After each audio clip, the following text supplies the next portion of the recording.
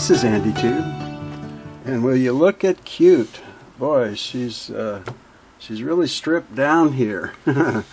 I've got uh, pretty much everything taken off of her, uh, except the the rods and shafts and gearing, and uh, pro I probably I'll take that uh, tension unit thread guide and stuff off now that I think about it. But uh, in this video, I'm going to attempt for the first time to do some cleaning on a featherweight. And um, so keep, keep that in mind. And uh, there's a lot of uh, methods uh, I saw and read online and in, in blogs and uh, YouTube and so forth. So I've uh, picked three that I was interested in trying and that's what I'm going uh, to do first with the with the outside. I just want to do some testing uh, first to see what I think. Now this is a $50 featherweight if you remember and you can see that um, uh, or maybe you can't see if I can get uh, that uh, a lot of the uh, what do you call decals are, are worn off and color change, like they're they're silver, like something uh, was used on them that shouldn't have been.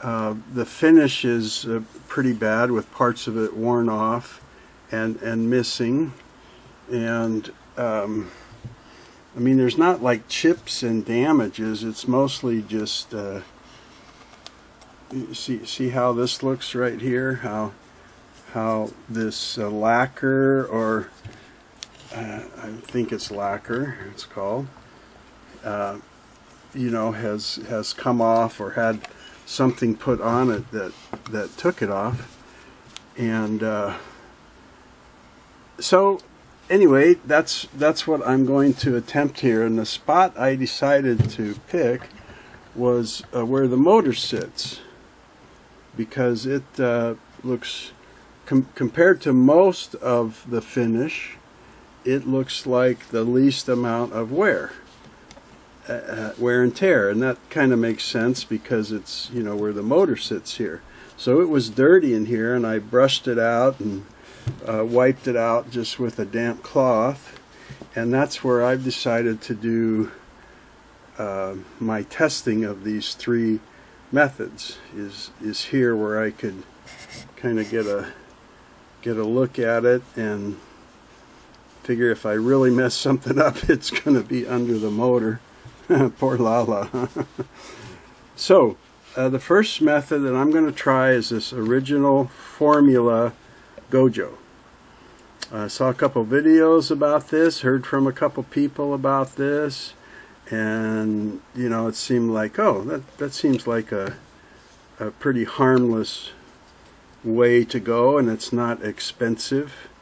Um, I even saw one video where a guy's uh, kind of restoring old Singer machines, and and he um, was taking off parts like needle bars and so forth, and uh, rubbing them with this Gojo and putting them in baggies with some extra Gojo and letting them sit in there for a while. And uh, so I thought, well, that was interesting. But um, I did see a video of a couple of old uh, singers. I, I think it was Ray Elkins, if I'm not mistaken, that somebody sent me a link to a long time ago. And he had some pretty nasty looking machines that cleaned up pretty good. So, I've never done this. Uh, you know, if, if you have and you're not interested in this part, just uh, go down on the timeline at the bottom of the video and skip ahead to the next method if you like.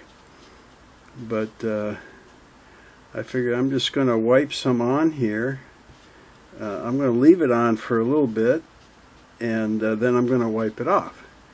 And I want to just see uh, you know like of course how well it cleans. Not that this part was that dirty but I'm I want to see if it does any harm to the finish okay so let me uh, let me do that get that started. Another method that I was interested in was putting a cleaner wax on there.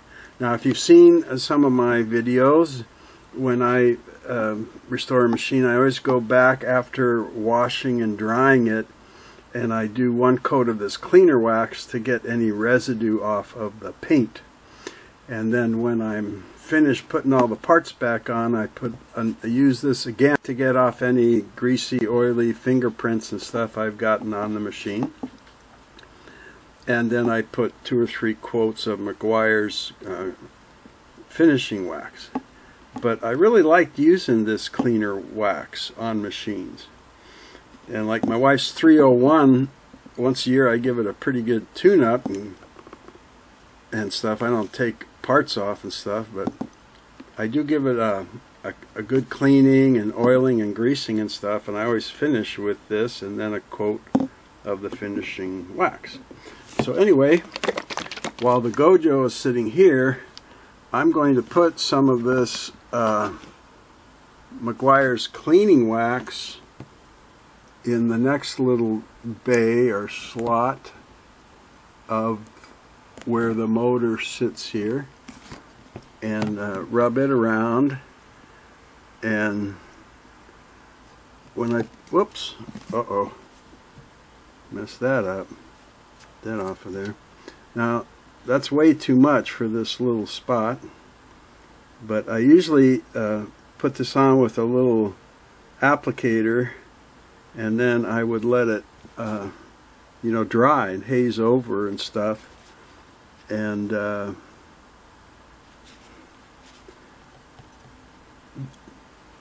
then buff it off with a dry cloth sorry I got a little dry throat here it's 113 today we're like 40 some days now over 110 a totally new record I heard that in a few days it's only going to be 108.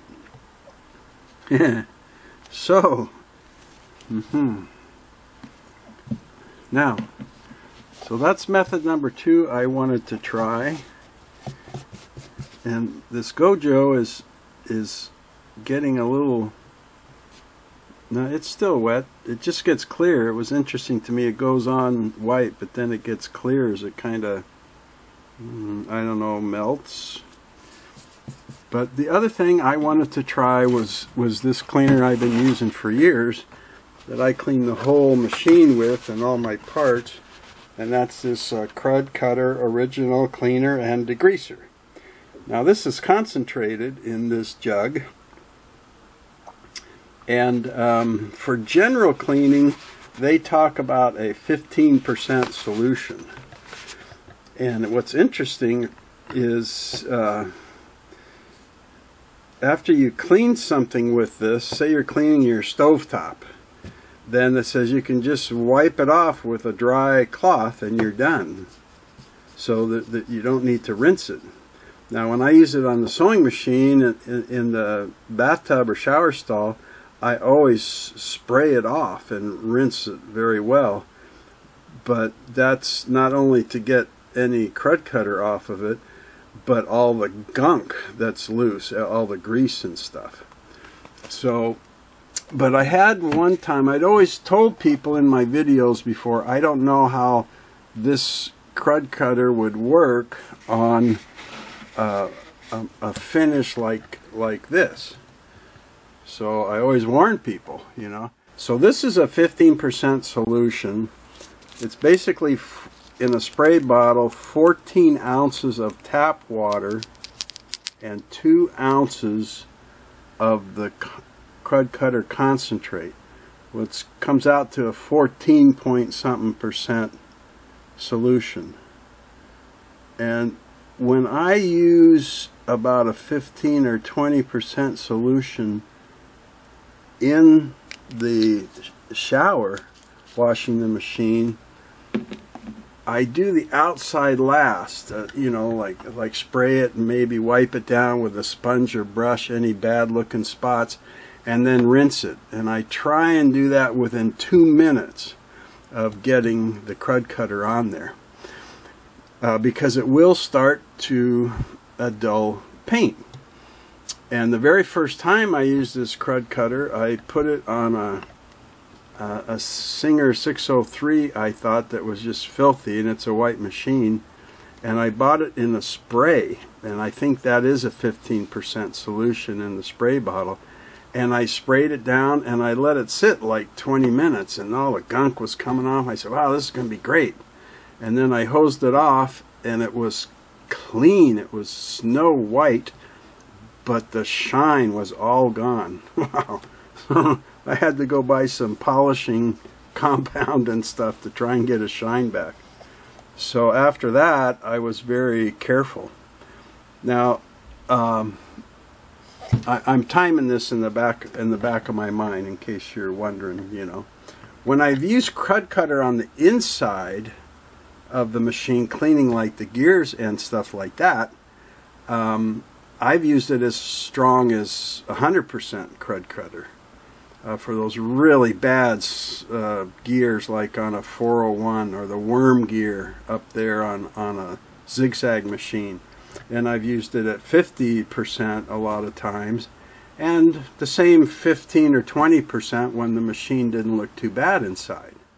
And I'm watching my little uh, Krud Kutter 15% solution here to see if it's going to take off this uh, finish or anything. And uh, let's just take a look at that. Got just an old t-shirt rag here. And I'm just going to wipe that off.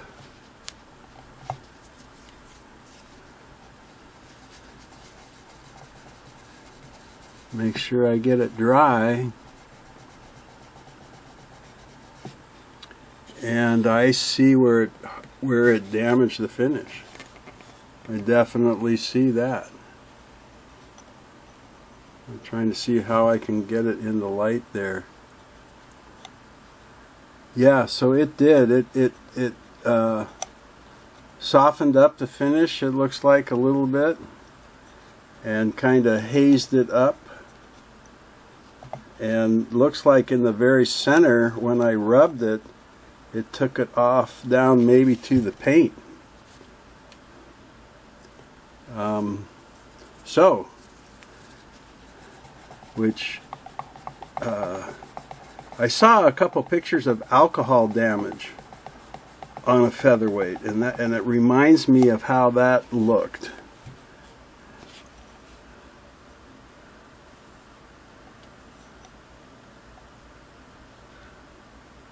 Can you see right that spot right there? That's what I'm talking about.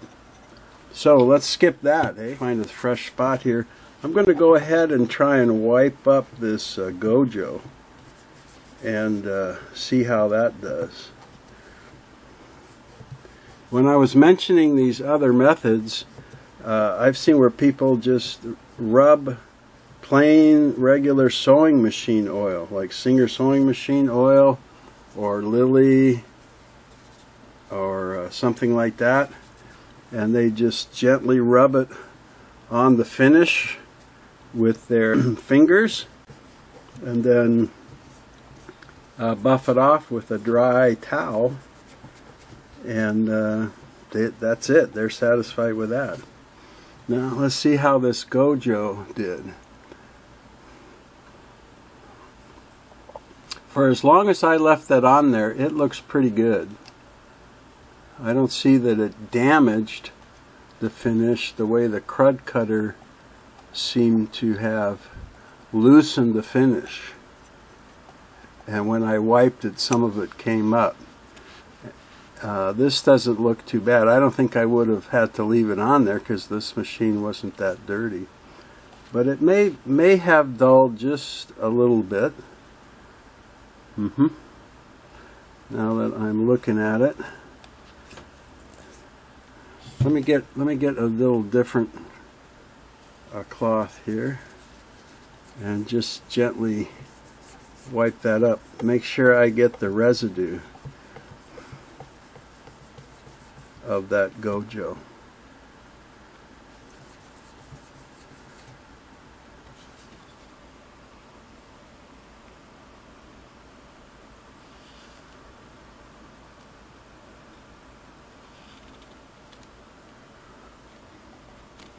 Yeah, I'd say it's not too bad.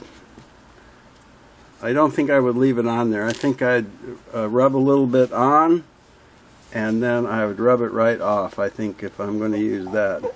Now let's see this um, cleaning wax. Let's see what it did here.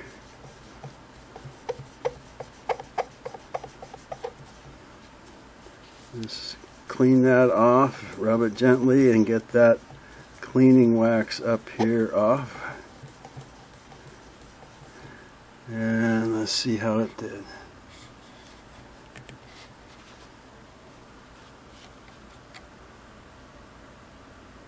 Mm-hmm. Okay, for me that left the best looking surface. Here's a damage where I can definitely tell it affected the surface. Um, this maybe dulled it just a, a bit. And the and the wax uh, left more of a shine, but it still kind of looked like it affected it. I'll be darned. So, what's to what's to do here? Let's take a look. Uh, I can see damage all around here. Can you see how rough this looks? Right in here. Mm-hmm. So I think I'm going to try the a little bit of the and, and up in here too.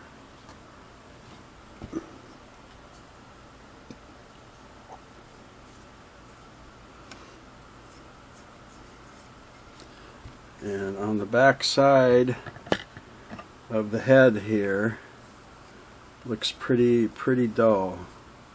Some finished damage here. So I'm interested to try a little bit right here. And I think I'm going to try that Gojo again, but not leave it on as long as I did. I'm just going to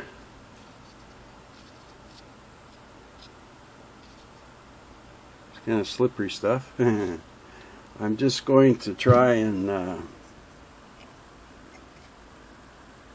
uh, rub it on right there. Even this surface feels rough under my fingertips. Where where where I was doing it below where the motor sits, I didn't feel that roughness. So I don't know if I've got gunk on the surface here or if it's uh, affected, but the roughness seems to be going away somewhat. And so then I'm just going to wipe it up and then gently polish it a little bit. This is just old cotton t-shirt. Uh, Hanes if anybody's interested. Okay, and I, I, I don't, it didn't make it worse but it didn't make it better. So I would say that's definitely in the finish and that the um, mm, Gojo probably got off some dirt from the outside. Okay.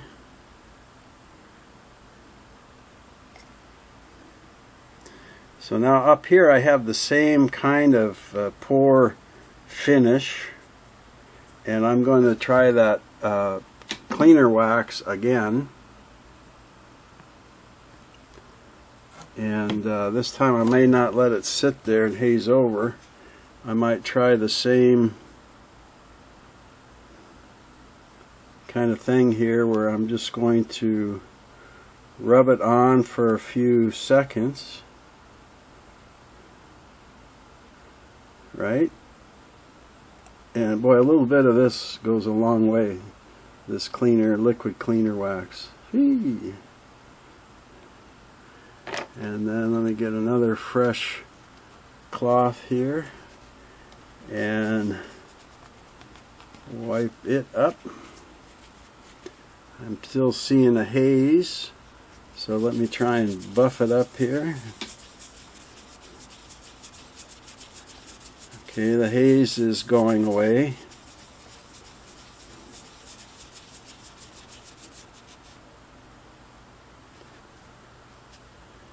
But the the damaged spots I see are still here. Mm-hmm. So it looked like it cleaned it. The, the Gojo and this uh, cleaner wax do look like they clean without uh, doing anything to hurt the finish as near as I can tell. You know, but please remember this is not in any way a pretty finish or a pristine finish. You know, I, I know many of you have just gorgeous machines and uh, very pristine and you collect them and so forth, you know. So if you want to try something like this, that's that's up to you. I'm just trying to figure out what uh,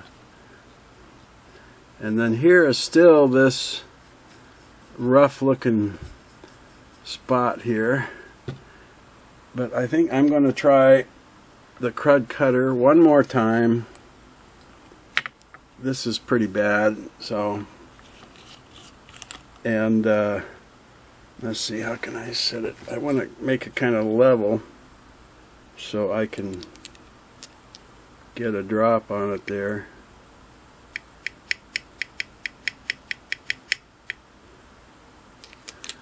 That's still in the camera frame? Yeah. And then I'm just going to gently rub it and then another clean cloth and I'm gently going to buff it off. So you, what you saw there was very few seconds right?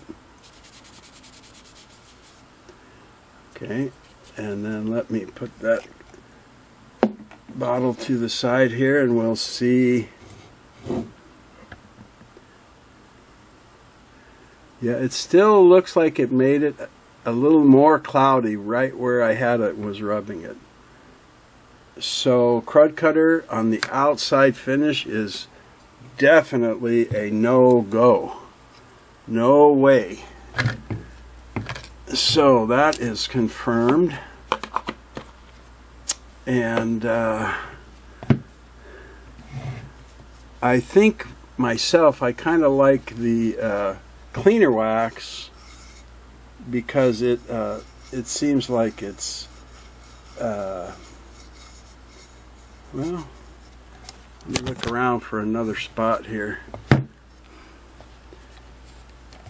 oh this poor that poor bed up here man you see that right there, I'm sure, can't you?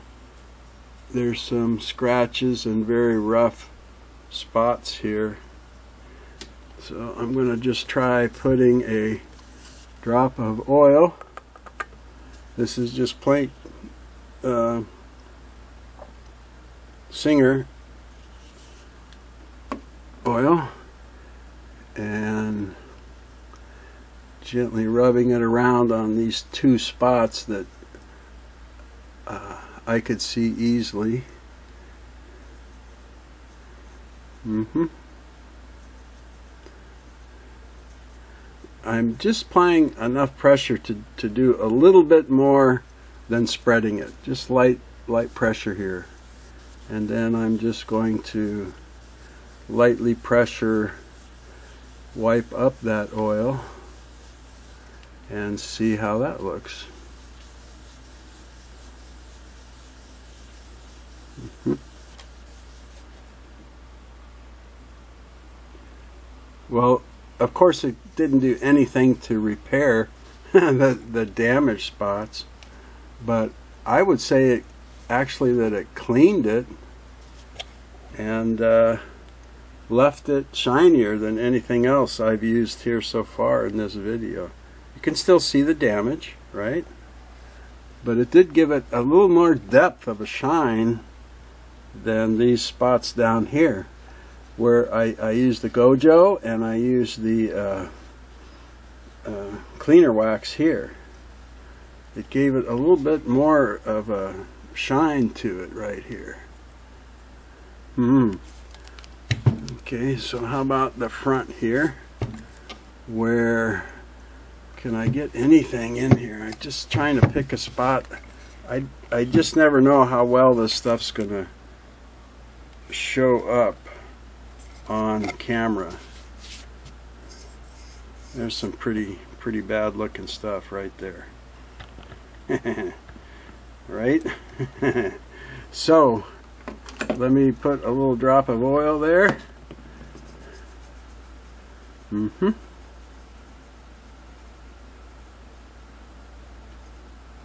And then I'm quickly going to put a tiny smidgen of Gojo on this end.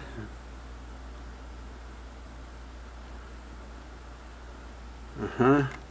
And I'm leaving a space there and I'm going to put a little bit of the finishing wax in the spot in the middle. Mm-hmm.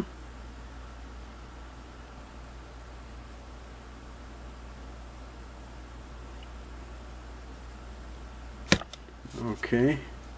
Good thing I made plenty of cloths for the video, huh? Cut up a whole t-shirt for this.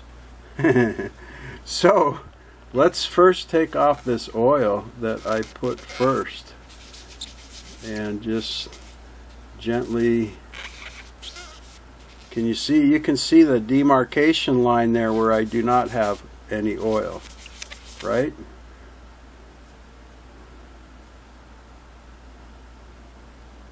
see it see it right there? Okay.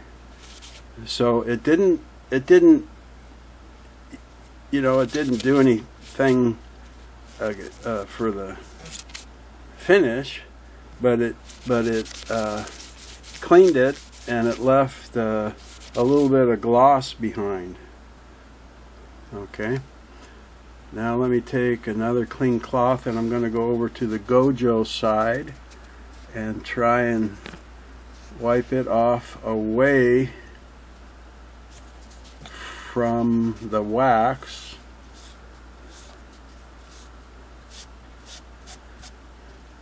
see and it it does a little bit of of uh, let me make sure I've got it off of there. It does a little bit of dulling in my opinion here. Can you see it? See that? Now you can still see how it's darker and has a little more gloss here and and this does not. so I don't know about using this Gojo. Mm-hmm.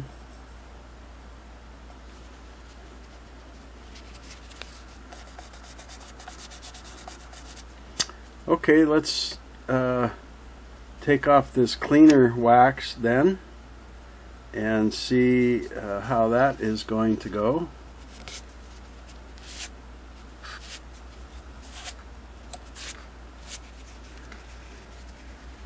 Not much shine there. Not like when I do a, a 301 or, or a 401 or 337 it's got a little bit you see it it's got a little bit mm -hmm. okay now that I'm buffing it up it is not bad again it didn't do anything to help the bad finish but it cleans it and it's uh, leaving some shine behind the Gojo uh, does not. The oil, you can see this demarcation here between the oil and the Meguiar's cleaning wax where I didn't put any kind of product. You can kind of see these two are similar. Mm-hmm. And then the Gojo, not so much. Now I wonder if I put a little oil now on that uh, Gojo side. Now putting the oil on there did bring it back a little bit, but see that see it's still it's still more cloudy here. Mm-hmm.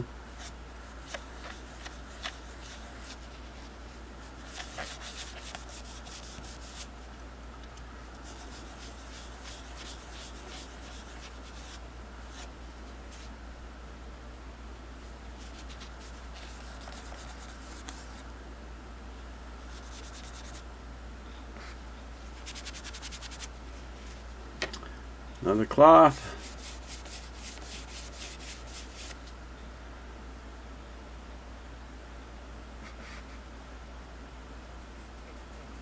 Mm-hmm.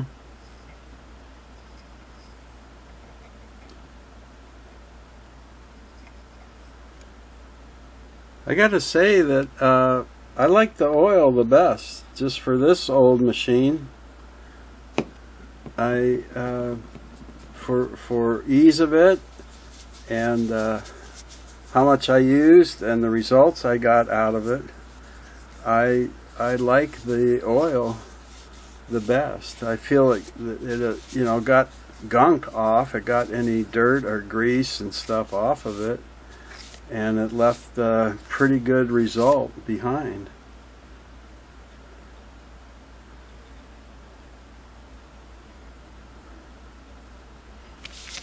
So I think I'm going to clean the whole outside of this machine with just sewing machine oil. And that I don't have much in here. I don't have much in here, but I think I definitely I think that's what I'm going to do. Uh, and of course I'm not going to make you watch that, but I just thought I'd put a little more up here and spread it around. Goes a long way. It's just mineral oil is all sewing machine oil is unless it has some additives. Like I don't think I would use the uh, Triflow oil that has the PTFE you know that kind of Teflon in it. I don't think I would use that. Just the pure mineral oil just sewing oil Singer, Lily something like that. Staying away from some of the household oils that probably have a lot of uh, additives and cleaners and anti-rust stuff in them. Mm-hmm. Yeah, I think I'm just going to do uh, the outside here with oil. Ta-da-da! I am liking that. What an easy solution that is, huh? Okay. Uh, I'm going to have to change this video, I think. It's taken so long. I'm going to have to call it uh, cleaning the outside. I had hoped to do some testing on the inside, but uh, I'm quite fascinated with this whole thing, so so I think this will just be cleaning the outside and I'll do another one for the inside. And I, I really I had some dirt and uh, junky stuff up up around here from where the light fixture fits in. And and uh, I wanted to see if just using oil really will do any cleaning you know so I I brushed it with that toothbrush I guess you you saw me and I just wanted to kind of wipe it down and see if that oil, mineral oil, will kind of dissolve the gunk and get it off, get it onto my rag. So it really does act as a cleaner, not just a, you know, like putting shoe polish on a dirty shoe. You know, might shine it up a little bit, but it didn't clean anything. And it does. It, it to me, it took the the built up grime. See, I've got a I've got another spot over here by the feed regulator and on the on the back ear of the uh, bobbin winder flange and stuff, but it did it did do that. So that's the Andy Tube opinion, I guess, is I'm going to clean the outside of Lala just with sewing machine oil. And then my next video, I'm going to come back and see about cleaning this inside stuff. Uh, I, I, have to tell you, wow, I just, I really want to, I really want to spray that Krud Kutter in there and get all this gunk out. Um, but even though Lala was only 50 bucks, she is still a beautifully made machine and I'm expecting her to sew very well. So I'm not going to spray here but I'm going to see about brushing and wiping out as much stuff and maybe using a Krud Kutter just on certain areas uh, wiping with a cloth or just a little bit on a brush so maybe you'll have time someday to come back and see cleaning the inside of a featherweight, a Singer 221 featherweight. Uh, thanks for tuning in uh, for this one, and uh, I'm sure you know you're welcome to comment about how you clean your featherweight or other machine with this kind of finish. You know, there are a lot of people that read the comments on my videos to learn stuff so those of you that have experience with that, you know, jump right in and give give your ideas and your opinions if you like. So hope to see you next time and I hope it's a little cooler. I'm dreading thinking of my electric bill. Take care.